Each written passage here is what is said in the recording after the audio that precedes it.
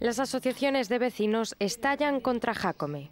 La agrupación Miño, que aglutina más de 20 asociaciones vecinales de Urense y la periferia rural, se muestra cansada de los ataques recibidos por parte del líder de democracia urensana y lo acusan de usar argumentos manipulados, falsos y contradictorios. Comeza por aplicalo ao seu partido, renunciando ás subvencións que recibe do Concello e Diputación e comezando a, a, a manterse só coas cotas de afiliados A ver canto dura.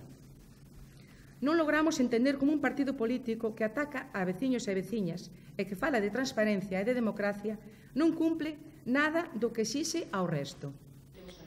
Esta líder vecinal recuerda que Democracia Urensana reparte 278.000 euros entre ocho concejales y cuatro asesores y ocultan a la ciudadanía en qué invierten las subvenciones que se les conceden.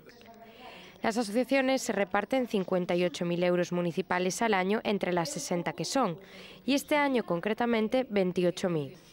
A estos 58.000 euros hay que sumarle otros 30.000 que se reparten las federaciones Limiar y la propia Miño. Defendieron asimismo que las paparotas de las que se les acusa corren a cargo del dinero de los asociados, no del Concello. Si facemos comida, pagamos. Quería ver como fan.